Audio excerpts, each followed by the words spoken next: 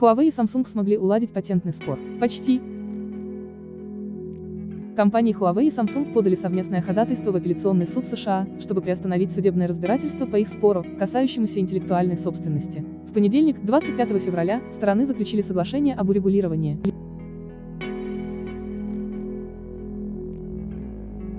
Противостояние производителей смартфонов в судах в Соединенных Штатах и в Китае началось в 2016 году, когда компания Huawei заявила, что компания Samsung использовала ее запатентованную технологию в области сотовой связи без разрешения и неоправданно задерживала заключение лицензионного соглашения.